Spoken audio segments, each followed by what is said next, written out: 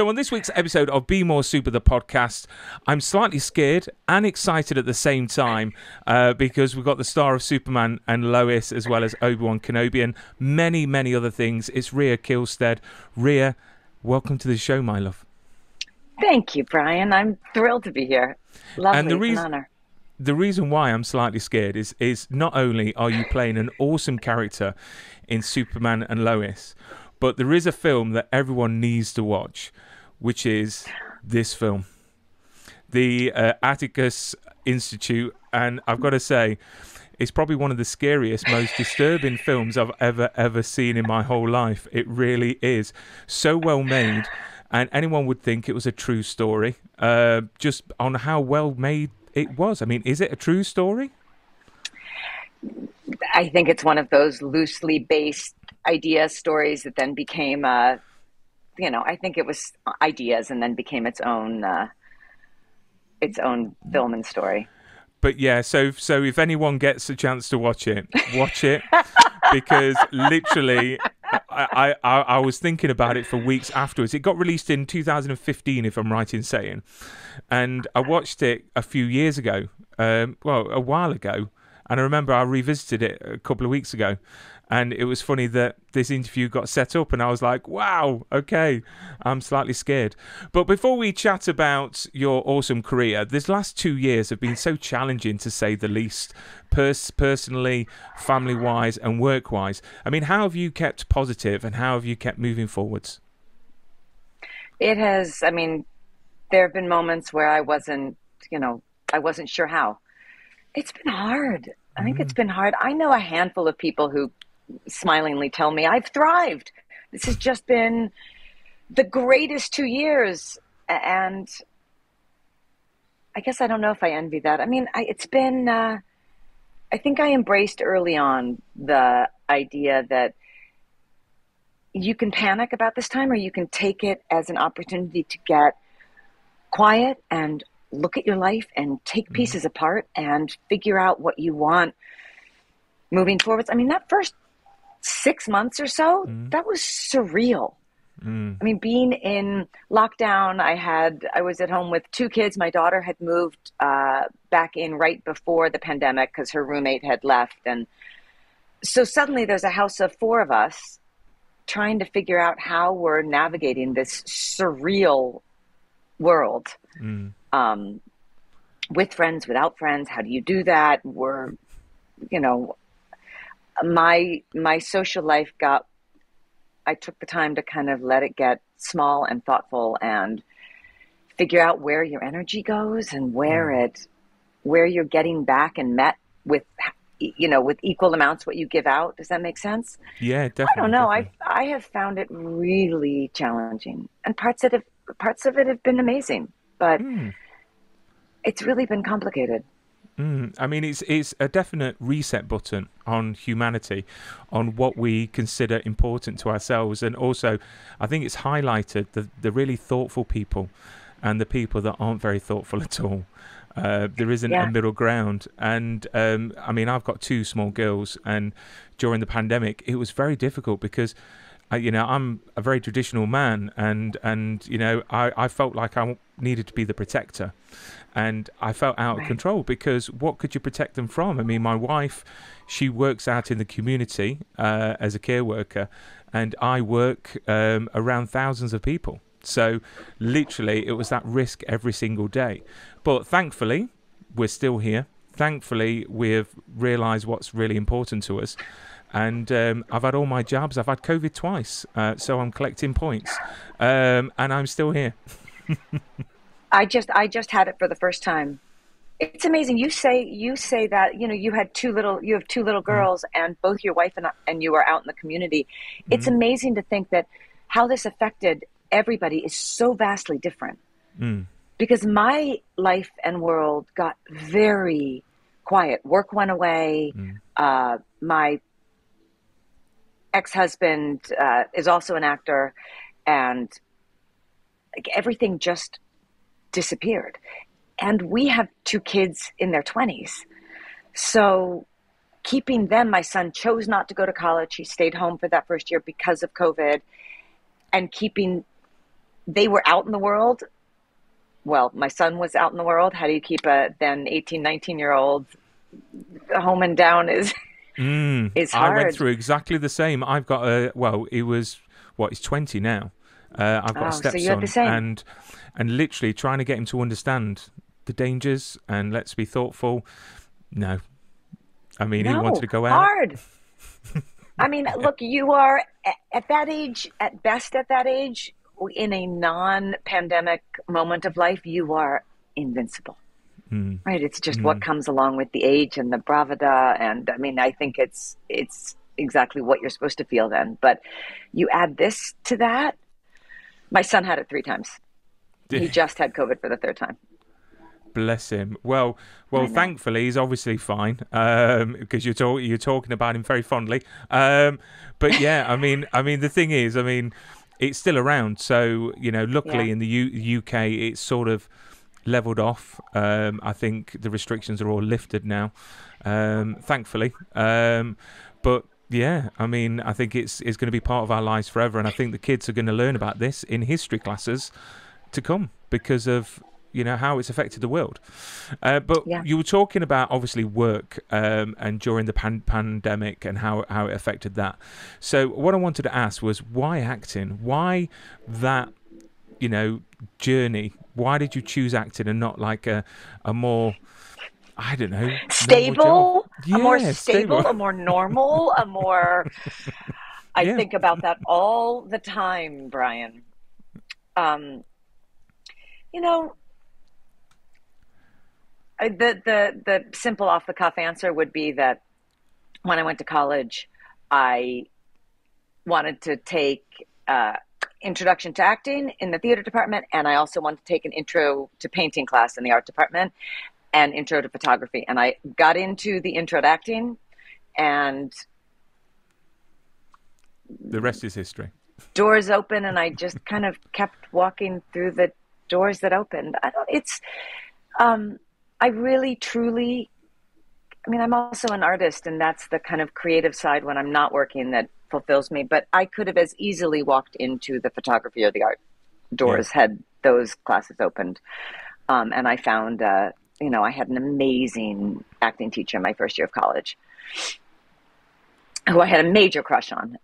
And he was a fantastic teacher. So I, I think all of the pieces, it really could have gone. I'm not one. I mean, I have a number of friends who, who this is what they've always wanted to do.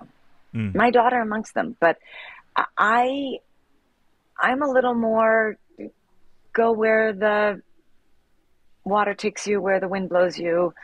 The doors open, and I kind of kept walking through them. So it's not a very And- exciting answer, but And you certainly do I keep do- on walking through because your IMDb is incredible for everything that you've done, which is great. I don't. I mean, I don't look. I think I've looked at one point a long time ago because I had a friend send me a note saying you have to change the picture on your IMDb, and I said I have no idea how. I don't even know what picture it is. Um, I don't know. I I do think about it all the time. Sometimes I think I sh- like, why didn't I do something steady, stable, normal, where I knew I was working, I knew what I was doing. I don't know that I would have lasted very long, but um, or what that would have been. Mm. Had it walked through my door, I would have gone that way too. And do you have a plan? Because, you know, with careers, um, you know, you start out and you want to be a manager one day and then an area manager, then a, a director. I mean, have you got a plan in place for your acting career? You know, when start starting out, did you say, I would love to perform in this theatre or work with this playwright, this director? I think I think when I started, I finished college and moved to New York and started a theater company um, with a group of people. Uh, and I think at that point, when was that? Six, 91 ish, early 90s. Um, I think at that point, the idea of planning a career, you kind of could. So there was a vague idea of of what a career would look like, of who I wanted to work with, of what I wanted to do, of I think you also used to get paid enough for work that you could turn work down. Mm. to try to build something, to try to, you know, I just played something like that. I would like to do, I'd like to wait and find something that feels like this now. And I, I think there was an idea in my 20s that, that there was a, you know, grand plan. I mean, I just want it to work. Hmm. I love the, I love the community of it. I love the, you know, the, I'm a process person. I like the, I don't much watch final products because it's over. You can't. Mm-hmm. So I like getting in the muck and planning something and making it happen, and then I just summarily close the door and move on. And then I think at some point, I don't know when, at some point the idea of a career shifted to I need a job, and the practicalities of I'm just gonna, okay, I like this. This is interesting. I will take this, and then and then I stopped. I moved out to California when I was late 20s, early 30s. Uh, and then I got pregnant and had kids and took 10 years off um, to raise my kids. And I think when my kids got to a certain age and I started to lose my mind a little bit and need some to figure out what I needed to do for myself because suddenly I realized that I had totally lost myself in my children and absolutely fantastic. Wouldn't trade a minute of it, but I did start to at the end kind of lose my own sense of mm. self. And mm. uh, and when I went back, I reached out to you know managers and agents who had kind of stood by while I took time off, and uh, again doors opened and they took me back, and I I kind of. Uh, I didn't know what else to do. So I went back to acting thinking if I find something else great and and that really just became about let me start working. Like I'll just take work. Mm. And and now I don't now I really just I'm taking work. Um, I'm open. I'm you know, it has to catch me. But I I don't I don't have the power or the ability or the kind of career to to kind of pick and choose as much as uh, maybe I would like to. Um, mm. and the truth is, most actors we don't get to do it a lot. You know, you spend you know auditioning is not acting. It's I mean, it is, but it's not. It's a whole different. You're by yourself or with a reader in front now at home on Zoom mm. all or you know with a friend taping so, really, the actual amount of time that we get to act, not a lot. Mm. Um, so that's the unglamorous actor is, answer is that I I just want to work. I just like working. I like working. I like meeting people. I like the experience. Mm. And then fast fast forward to now, and you're currently appearing in two of the biggest franchises that that are on our screens at the moment, which I think is absolutely amazing. You know, to be not only in Superman and Lois, but Obi Wan Kenobi, that's been called the best Star Wars series to date. Which, um, again, I feel really bad because I haven't caught up with last night's Superman and Lois and tonight's well today's Obi-Wan Kenobi because because of the kids it's just getting time and I'm like ah I need oh, to watch I'm sure. uh, I'm so, sure Mm. Well, I don't. I mean, like I said, I don't. I don't have a television, and I know I can watch stuff on my computer on my phone, but I don't. It feels wrong to me. Um, I, so I, I don't watch any of it, and uh, and I have had. I mean, this last year has been. It's been a blast, and so. I do feel super lucky, and I don't think I realized. I mean, like I said, I didn't. I didn't plan any of it. I. I I mean, when I auditioned for Obi Wan, I didn't even know know what it was. They weren't telling anybody anything. I don't remember what they called it, but it had some secret name, and the sides were uh, pseudo World War II, uh, Nazi themed um, sides, um, and Superman Lois. You know, I, I hadn't watched it, and they they offered it to me, and I'm friends with Emmanuelle Chriqui. So I called Emmanuelle and said, you know, talk to me. Am I going to Vancouver for six months? and she was amazing. She was like, the creator is amazing, the cast is amazing, and I'm on it, and I would be so thrilled. And yes, please come. It's amazing. So that is awesome. I mean, yeah. how was how was the the part of Ally um, presented to you? Um, because I had Wole on the show a couple of days days ago, and he said literally he went to the audition and his character name was like Brad Smith, um, and he didn't know anything about it. I mean, how did they present the character to you? Uh, well, the pages that I read were like uh, they were they were. She was described as a cult leader, uh, a cult leader. I don't remember what else they said, but that's all I knew. I knew nothing beyond, uh, you know, the parasite twins. I knew nothing about. I knew nothing. I, I just knew that she's a cult leader and. Uh, and her stuff was mostly with Lois and had and clearly from the sides I understood that it was between Lois and her sister.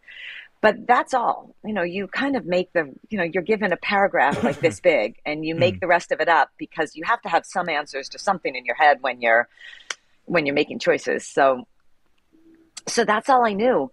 And then I got on the phone with Brad and said, you know, when he offered it and said, you know, talk to me about what and I think they had a at that point they had a plan and the beginning of the season written but I think as the season goes it changes and it gets written and mm. rewritten and um, so at that point he knew she was gonna that she was the parasite twins and that this was uh, cult leader merging with her other self and taking over the world that's kind of about about all I got, which is absolutely impossible to act, but sounded so fun and so. Um, I've never been given the opportunity to do, to do anything like that and and I've got to say the way it's portrayed on screen, I think it's awesome. It really is. Um, I mean, would you do? Do you ever get hesitant? You know, obviously joining a franchise like Super Superman and Obi Wan Kenobi, so the Star Wars universe. Do you ever get hesitant on on accepting parts to be part of that sort of universe because it comes with a lot of, unfortunately, responsibility because the fan base is just enormous, or just do you not get hesitant? I'm I'm bad at that. I'm kind of a gut decision maker, to be honest. I it would really do me well in my life if I took a little more time and thought sometimes and let things sit for a little longer than I do. But it's just kind of not my nature. Um, no, once I decide something, I just no. In some ways, I, I've never done that and had that, and I don't even think it crossed my mind, to be honest. Um, I mean, Obi Wan, I I accepted. Uh, I guess they came back when they came back with an offer, which I think was months after I taped. Um, at that point, they didn't know. They knew it was the. They knew the part, but they didn't know. They hadn't written all of the episodes, so it, that was a really long, drawn out process. But who the hell is going to say no to being involved in a Star Wars anything once in their life? Exactly. And that is set yourself right? up now for the future. Literally, conventions well, down the line. you know what I mean? But yeah, I've never, I mean, and that's all foreign to me. I've never done any of that. I've never. Mm. I've never been a, I've never been in a position to, and I've never really thought about it. I mean, for me, it was I got offered the part, and I got on the phone with Deborah Chow, who called and said, "Here's where we think we're taking her. We're still in development, and we're," and she was amazing. I mean, in case doing Star Wars and Obi Wan with Ewan McGregor and that amazing cast wasn't enough, um, she's just smart and cool and down to earth and thoughtful and open. She's fucking fantastic. I don't know and if I'm allowed to swear. Sorry. You can say whatever you want. okay. So, so I've got a picture there of you as the fourth sister, which I think is absolutely awesome. Um, I've got another one as well, um, just here as well. I mean, what was that like? Why we're talking about Obi Wan Kenobi? What was it like, makeup wise, and and getting ready for the part? Because they they don't mess about. You know, you can see the quality and the thought that's gone into filming it was it, she, Deborah has put together the most incredible crew. I mean, the whole way around. But the hair, makeup, wardrobe, I went in for well, the wardrobe. Let's start with let's start with my outfit, which was spectacular. And I went in for you know fittings after fittings after fit. I mean, you know, and they it is all just custom measured. I went in on my first, and they measured every inch of my body. I mean, you you get a job, you get a normal job, and wardrobe is the first person to call you and say, "We need your measurements, we need your height and your weight," and but it's basic measurements. We need your bust, mm. we need your waist, we need the size of your feet, we need your, you know, we need to make sure you're going to actually fit into the clothes that we buy for your fitting. This was a measuring tape around my fingers for the custom gloves, my wrists, my halfway up my. It was mind blowing, and those women were astounding. So I would go in for fittings, and at the same time, uh, all of the pieces that were built, like the unbelievable head piece that I wear, which had those tentacles built into it. So the, these gorgeous, like they felt unbelievable. They're kind of uh, soft and slightly mushy tentacles I, built into the back of the of the headpiece, um, and the chest piece is a separate piece that's built, I think, with a 3D printer. Mm-hmm. Um, wow. Um, it was it was amazing. So every time I went in for one, I had the other, uh, and I think my I have to say I think my wardrobe is you know her costume is I think one of the best. And it doesn't um, stop I there. On, I was honored to work with such incredible people. And it doesn't stop there because you you're getting your own toy figure. I don't know if I'm. I don't know if I can call it toy figure. I think I'm probably going to get lots of comments because they're not called toys. they're called figurine. figurines. Yeah, figurines. Uh, yeah. Which I've got a picture of it. There it is. I, I, I think if you look up close, I look slightly cross-eyed. Um, I have I mean, a couple friends you... who are. Yeah, yeah. Yes. Have you actually Sorry. received received yours yet? No, no, I have not. You would think I would get one early, but no, I have not yet. I think I may have to go to the store and buy one. Def- definitely, they're the Black Series, and uh, people can pre-order it now, but they don't come out till next year. Which I, w- I was really? quite yeah. So in the UK, if you pre-order, the timing it, seems very off for that. That is exactly what I thought. I thought it's not very good marketing. You know, bring out uh, the t- sorry figurine, uh, not toy figurine. the toy. Um, bring out yeah, the toy. toy. You're going to get all these middle-aged men now just typing away going they're not toys they're figurines they're collectibles. Um, but yeah so so that is uh, coming out as well uh, next year. So so um, i've actually pre-ordered mine um, which you have? Well, i have I pre-ordered mine. My wife doesn't know um, but if she watches it, to I be honest, tell her she doesn't watch the interviews because apparently she's sick and tired of listening to me at home. So I was about to... to... ask if she watched. If she watched, that's like at a certain point, you know. Yeah. My kids watch nothing that I do. no, that's not true. My son did watch. He came to. They did a screening of the first two Obi Wans down in Anaheim, and uh, a surprise screening. And my son Giovanni came with me. He was thrilled. Oh, that that is awesome. Well, but this may be the first thrilled? thing that I've done that he's thrilled about. Oh, that's awesome. And and I've got to say as well that um, the only reason why I asked if you had your figure because Moses Ingram had her figure delivered to her, and she did an unboxing on the inter- internet, oh! which which I was shocked at. I was like, well, if she's she's got hers, surely you've got yours. Um, and and and quickly, while we're on that that subject of Mo, Mo, Moses, obviously there's been some really bad behaviour on the internet and by so-called Star Wars fans, and I'm just shocked. I really am. I mean, what are your thoughts around the behaviour? I mean, do you know about it? Are you aware of it? I, I am aware of it, and I know about it. I am not much of a social media uh, person, but I, I, have done some reading. Um, it's fucking 2022. Like, what is wrong with people? I just don't.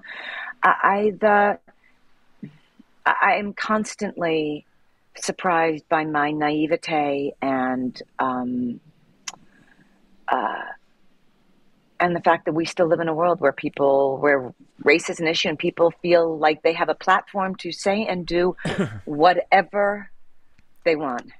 It's so deeply upsetting, although it goes right along with a lot of our news and a lot of our police misconduct and a lot. I mean, it, it is, Mhm. it is. I, I wish I could say rampant and a huge problem in this country, but I, I think it's beyond. But I, I will speak for this country. It is. It's. Uh, it's really despicable. And And I think the- we had we had a president who opened doors and and made it even more acceptable to Mm. for people to think that they can say whatever they want, put it out there with no repercussions because you're just right. It's it's this it's Mhm. this faceless, nameless. Like none of them have to face Moses or face anybody and see them as a human being. It's very easy to sit in front of your screen and spew out Mm. horseshit. I mean, the cowards. I mean, you know, they're hiding behind their key keyboards, and I'd love to be able to put a face to them so they can be held accountable. It's a bit like Yeah. bullying. You know, back in the day, I I got bullied on a daily basis in person. Now the bullying's done over the internet. I mean, they're not even making an effort these days. Do you know what I mean? Yeah, no, and I, I think it is the same as bullying. It actually takes less guts Mhm. because, like you said, you're not doing face to face. And as soon as you look, you and I are white. Mm. It's like I, have a conversation with a couple. I have a I have an ongoing conversation with uh, with a gay friend of mine who grew up a gay man in this country and in the middle of the country, and uh, where I say to him that that you have no that that growing up a woman you learn and are exposed to a whole set of things that are very similar that he doesn't think about because he holds on to his you know because because he sees it differently and never looked at it that until we had Mm. conversations about what women have to go through and then I'll say that we have no idea what it is to not grow up white uh, it's such a privilege and then to see I mean, I would say fucking white people. I assume most all of them are. Mm. Mm. I mean, this is why being a parent in this day and age is even more difficult now. But it's a great opportunity because I get a chance to mold my Mm. l- little girls um, Yeah. into great people that could be responsible for changing that in the future, which is great. Yeah. And this is why I Yeah. called. This is why I called one of my girls Lois, um, after Lois Lane, and then my other girl is called Cara. So um, you know, after after, after Supergirl, not that I'm a massive nerd, uh, but um, I got away with it, which is amazing. So I just wanted to uh, nip back onto the, the part of villains because I think villains are very misunderstood in many, many shows. I really do. And villains are actually my favourite characters out of any shows because they tend to be more complex. They tend to, I don't know, be a lot more interesting. I mean, do you think that Ally Allston in Superman and Lois is misunderstood? Is there a, good side? Well, I mean, look, to play her, I, I had to figure out what it was she's looking for and, you know, what all of this means to her and where she gets lost. Mm. Um, and then, you know, and then it get, got complicated because then there are two halves, but I, I looked at it as much as I could as that there are two halves to us all, really. Um, if we think of ourselves divided, good and bad, not that one can, not that it's that simple or that. Um, look at that, laser eyes, hilarious. Awesome picture. Awesome. it's literally I don't know. I, that. That should be your I hope I IMDb. did her justice. Do you know what? That should be It- my IMDb page. I hope you I know- did her justice. I mean, Adam and I spent some time talking about because he did, because he was season one's baddie, Mm. and we spent some time talking about the complications of playing a part like this. That that as soon as you superpowers get added in, and you're doing things that you don't fully understand what's shooting out of you, and but you have to understand what's behind it, right? Mhm. What drives you? What's in your gut? What what hole you're trying to fill? What you know? Mm. Where you get lost on the path to power. Mm. I mean, I mean, Um, the character is fantastic. I love how you see the transition from from Ally to the merged Ally, where she gets a bit power drunk. I I I suppose she gets merged, and there's no stopping her. And I love the fact that on the show they really haven't got a clue on how to actually stop her. And it must be absolutely glorious to play a part like that on screen, especially with all the special effects, especially with all the stunts and and and being able to fly. Uh, I mean, I mean, what was that process like? Was that was that good fun or was it just horrid? I, loved it. I, I love it. I am I am very physical. I come from a dance background. I'm an athlete. I, you know, I love it. And I very early at the beginning um, met Rob and Kirk, who run the stunt department, and said, "I will do as much as you guys will let me. If I can fly, I like. I just. I also think it makes a difference if it's. It gives the editors and the camera much more to work with if they can actually use you, see you, don't have to cut around. Mm. Um, but I love it. I love the physical piece of it. I mean, it's not easy. What Tyler does all day flying around is really hard. It's uncomfortable. The harnesses you wear are uncomfortable. The um, it's really demanding. But uh, but I loved it, and we had. I mean, we had some hilarious moments. I mean, moments where, you know, when you set about doing this, and you read on the page, for example, she. Uh, uh, well, I'll just start. She, she, you know, shoots lasers out of her eyes and her hands. Well, we all imagine some very different version, and you're reading it on paper, going, "All right, well, I don't know exactly what they're going to do, but let me just wing it and throw some stuff out, and I have some ideas for here."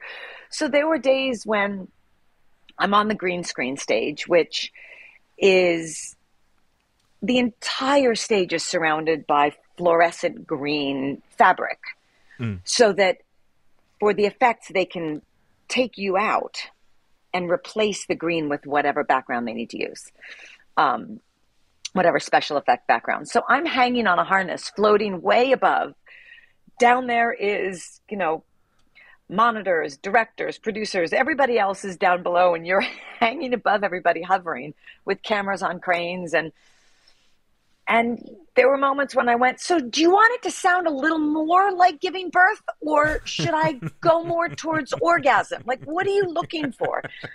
Because I'm just trying to give them as much as I can mm. so they have something to work with. But it really is, I just make a bunch of stuff up in my head, make some notes, and, and, and do you throw it out there, hoping that the yeah, hoping that the director goes, no, no, no, definitely not the giving birth. If we could skew more towards but it oh, all comes awesome. with sounds and motions, mm. and there were some hilarious moments. Um, uh, I uh, we were who was it that uh, I don't remember what piece we were filming, but I'm standing on a little platform, and I was in a harness, but I had to I got knocked sideways. So I had to kind of throw myself sideways. But the camera's here. So I really only had to kind of put my head out of frame. And in my overzealous nature, I threw myself out of frame, straight off of the platform, down on the floor. You should have heard the whole place.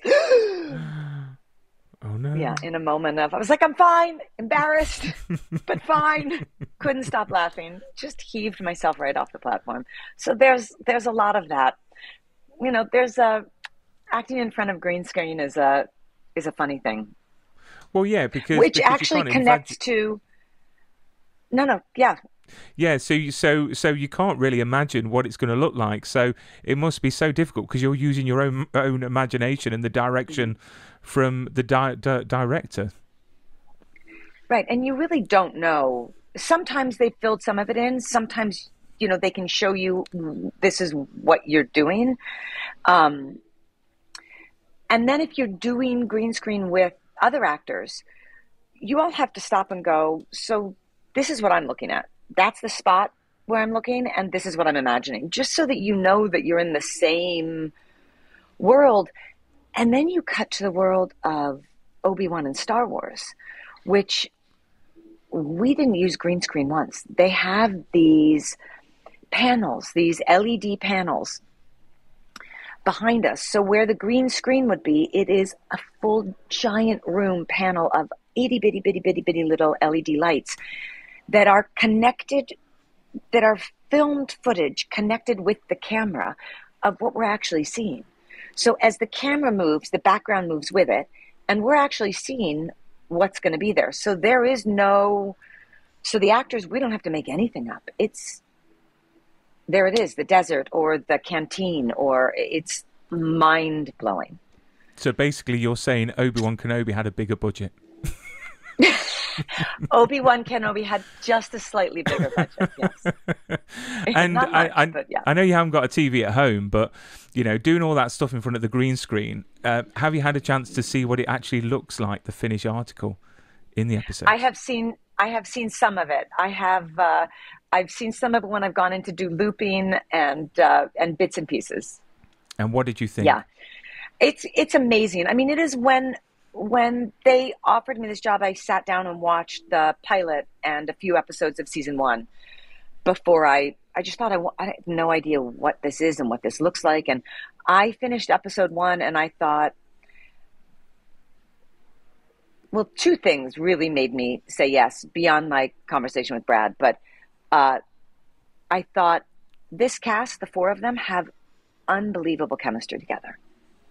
Like they just, it's, and that's what makes, I think, at its core, that's what makes a show. That's what, and you can't fake that. You can't, that's just, that's just casting that's magical. So the four of them I thought had such great chemistry together. And I thought the special effects were amazing. They're beautiful. They're not over the top. They're, like, I thought I was so impressed by it. Um, And what's what's yeah, been so I knew what I was getting into. And what's been your favourite scene to shoot um, over, over, over your time on the show?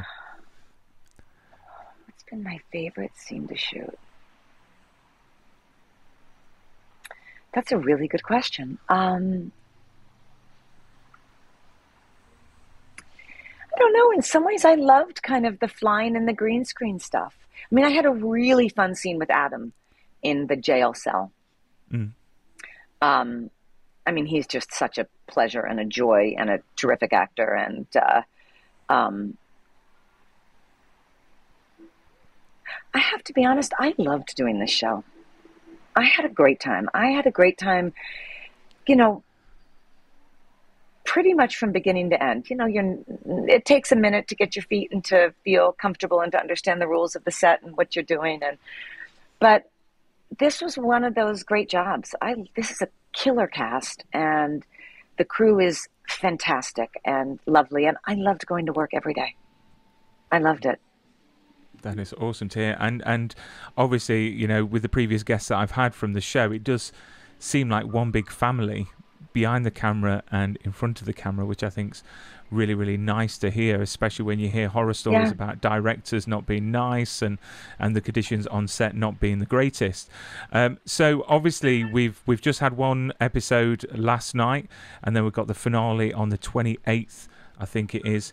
I mean, without any NDAs blowing up, um, without anyone giving you a phone call, um, in a nutshell, what have we got in store for the finale?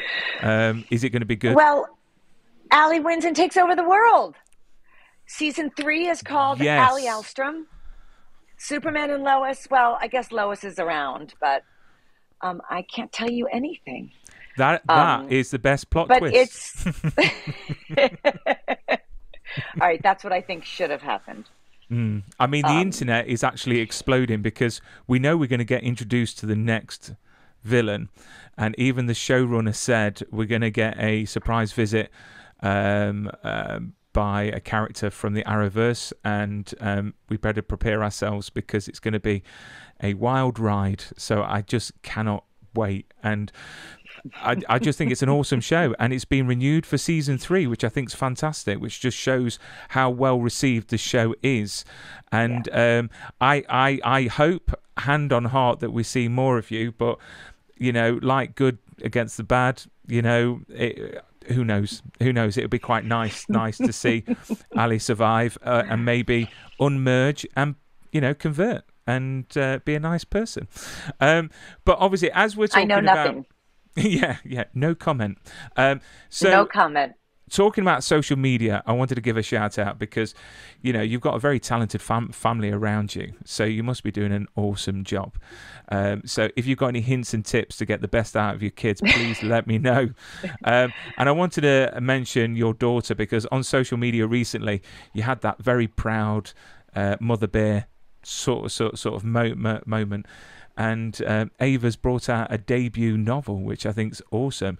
I mean, can you tell me a bit about it and and uh, absolutely? Like? You know, yes, uh, you know, some of us during COVID, uh, you know, learned how to bake bread, and uh, others, like my daughter, wrote a novel, and HarperCollins picked it up and published it, and. Uh, um, at 23, she's already she's finishing her second one, um, which is amazing. Uh, That's awesome. And it's, I mean, I'm her mom. What do you want me to say? I love it. I actually am, uh, I'm rereading it again now that I actually have the book. I mean, I've read a pile of drafts, but I read them on my computer and laptop, and I don't read books that way. I don't read scripts that way. I like, I like paper. Mm-hmm. Uh, mm-hmm. But so now I actually have the book and I'm rereading it. It's, it's beautiful. Ava's, Ava's way fucking smart. She's smart and wickedly funny, and um, uh, it's a great book. It's about a woman who um, who falls in love with a married man, and her journey. Uh, her journey of mostly, I think, self-discovery as she as she shares and unravels the story and uh, pieces. It's amazing. Mm. Mm, yeah, well, order it, buy it, I it. will. I will put the link at the bottom. I know that it's available oh, on Audible, you. Amazon, you name it. It's available everywhere. Kindle.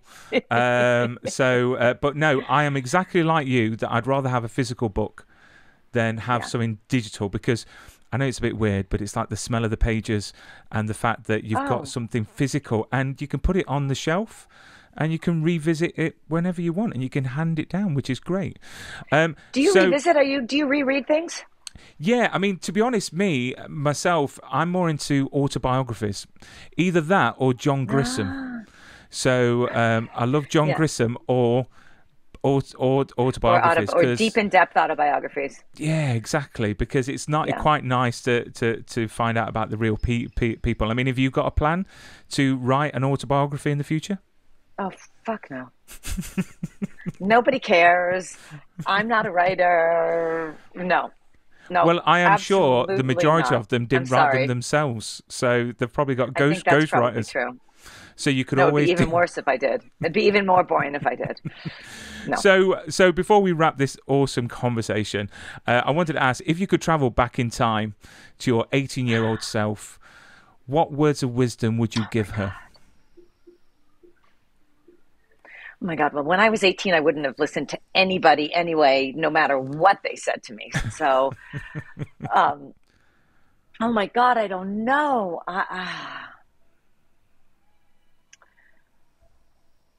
that's such a hard question. I just want to, I mean, I look back at myself at 18, I think I had no idea how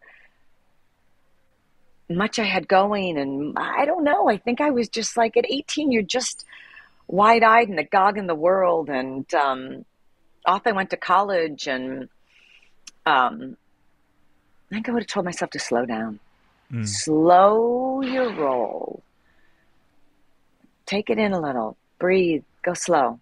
I'm not good at slow. And at 18, I really wasn't. Mm. Um, mm. I mean, I mean, thing is, we always say that um, you know what would you like to know back when you was younger that you know now? Because life changes uh, i mean i mean you know yeah. I mean i think this sounds so stupid. It's so cliche but i think i was in such a hurry to get somewhere. Like it just felt like i had to get to this next point and then get to this next point and that and you realize at a certain point but i think the truth is you can't realize this without age and road mm. under your tires anyway that it's not about getting anywhere it's just about it's about the day it's about the process it's about what you're doing right now Mm. And it's quite It's hard to know to that. think It's hard to remember that now at 52. So I mean, I've got to say, it's shocking that we only start to appreciate things when we get older. We start to see the beauty in things when we get older. But yet, when we're younger, it's a pity that we don't see that when we're younger because, you know, the pos- pos- possibilities are there. And, uh, yeah. but no, that, no, that's great. Um, so, what's next for you? Um, are you working on anything at the moment, or is it a case of you're putting your feet up, living life?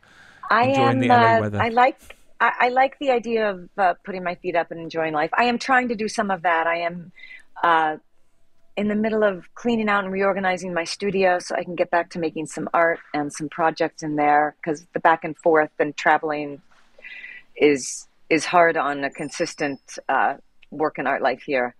Um, and I'm auditioning. I'm looking for that next job. I don't know what it is. Oh, there, oh. you know. But yeah, in the mean, uh, uh, but in the meantime, I'm you're everywhere. unemployed and uh, and uh, you know I am. I'm trying to love and enjoy. You know, I live near the beach, so I'm trying to go to the beach and put my body in the ocean at least once a day. Um, That sounds good. yeah, Just to be able to be able to cool off and and because when I used to live abroad, that was great. You know, I lived right by the sea, and um, it was just fantastic. So you're very very lucky. You're very lucky. I am um, so lucky. And have you got any plans on uh, doing any conventions coming up? Or Um, I am. I am looking into it and thinking about it and hoping to. Yes, I. This will be a first in a new world for me. But I am. Uh, sh- yes, sure. I don't. I don't have anything. Anything uh, in place or solidified yet. But uh, I hope so. yeah, It'd because fun. we've got a lot of the uh, Superman and Lois cast coming over to the UK uh, in July uh, and throughout the year. So it would be awesome to have you over in the UK, and you can sample the weather for yourself, which would be great. and then you'll go back and appreciate LA a bit more. And lastly, how can fans follow you on social media? Um, well, I'm only on Instagram, and and to be honest, it's almost only my art and the occasional post on my daughter. But it's just my name, Rya Kihlstedt, That is awesome. at Rya Rya- Kihlstedt. You've been a great guest. Uh, uh, it's been a joy. You're not as scary as your characters, uh, which is which which is great. And and I felt that I have a dark side, Brian. In case Oh, dear. I, I just don't let it. I just don't let her out very often. Oh dear. Atticus, okay. Well. Atticus, Superman, and Lois. She she exists. Oh dear. That is scary thought, isn't it? But uh, you know, no, you've been lovely, and it's been a pleasure to talk talk to you. Thank you so much. My pleasure, Brian. Thank you.